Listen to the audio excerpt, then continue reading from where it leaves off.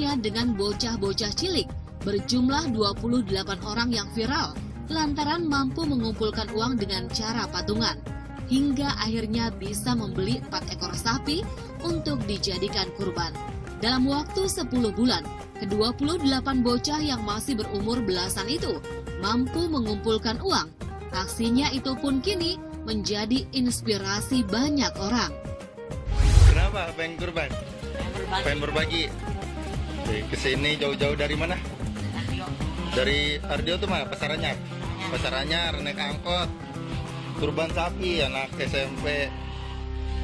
Nabungnya berapa lama Ki? 10 bulan. 10 bulan. Pemirsa, kini tiba saatnya saya Dewi Kumala pamit undur diri.